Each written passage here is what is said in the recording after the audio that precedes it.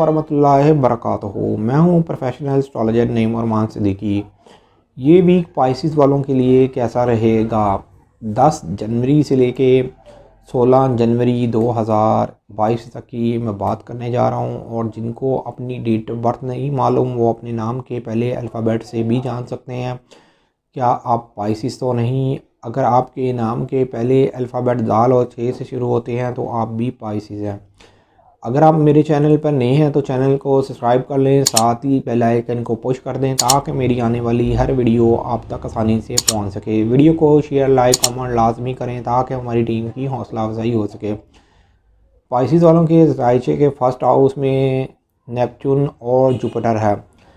ये week Pisces वालों के लिए बहुत ज़्यादा एक गोल्डन वीक साबित होने वाला है। इस वीक के अंदर जो सितारों की मोमेंट है, वो आप लोगों के लिए बहुत ज़्यादा एक बेहतर साबित होने वाली है। इसलिए कि शायद ही, नादर ही शादर, फिर पूरी ज़िंदगी आपको ऐसा मौका मैसर हो। इसलिए कि जिस वक्त शरफ़ कमर होगा, उसी टाइम पर मून ने जुपिटर के साथ 60 डिग्री की एक नज़र मुकम्मल करनी है।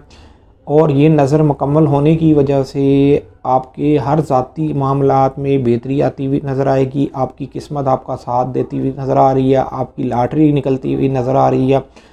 आप लोगों के लिखने पढ़ने के मामला कम्युनिकेशन के मामला एजुकेशन के मामला में बेहतरी आ रही है ट्रांसपोर्ट के मामला में बेहतरी आ रही है। अगर आप गुलकार हैं, शायर हैं शोबिस इंडस्ट्री में काम करते हैं, फ़िल्म थिएटर में काम करते हैं तो आपके मामला में बेहतरी आ रही है। अगर आप वकील हैं, जज हैं, टीचर हैं, या आप किसी खुफिया एजेंसी में काम करते हैं, डॉक्टर, इंजीनियर, सर्जन है तो आपके मामला में बेहतरी आती हुई नज़र आ रही है।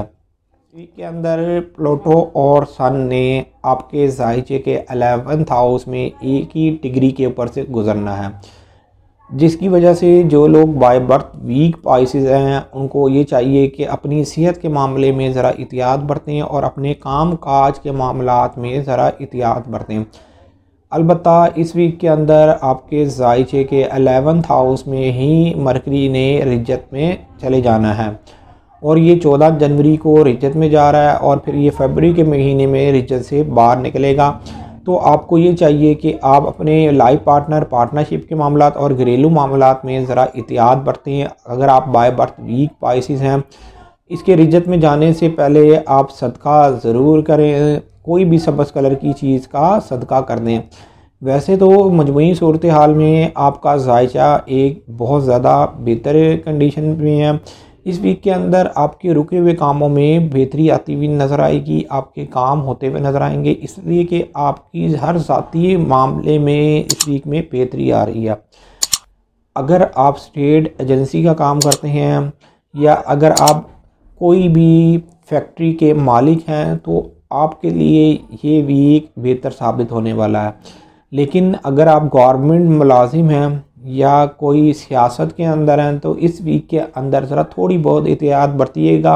लेकिन इस वीक के अंदर नो डाउट आपको माली फ़ायदा भी हासिल होगा, लेकिन आपको चाहिए कि अपने अखराज को कंट्रोल में रखें, ज़रूरत से ज़्यादा खर्चा ना करें। इसलिए कि आपके जायचे के टेंथ हाउस से जायचे के फ़र्स्ट हाउस में नेपचून के साथ एक नज़र मुकम्मल हो रही है, जिसकी वजह से सोच समझ के आप ख़र्चा करेंगे तो आने वाला वक्त मज़ीद आपके लिए बेहतर साबित होगा।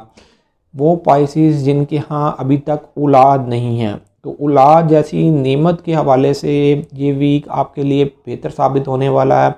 आपको खुशखबरी मिलती हुई नज़र आ रही है इस वीक में। इसलिए कि अगर आप सालों साल से परेशान हैं तो इन ताला इस वीक के अंदर जिस सितारों की मोमेंट है, वो आपके हक में बहुत ज़्यादा एक बेहतर साबित होने वाली है। ये करता हूँ मेरी ये वीडियो आप लोगों को बहुत पसंद आई होगी। मेरी इस वीडियो को शेयर, लाइक, कमेंट और मेरे चैनल को सब्सक्राइब करना भूलिएगा।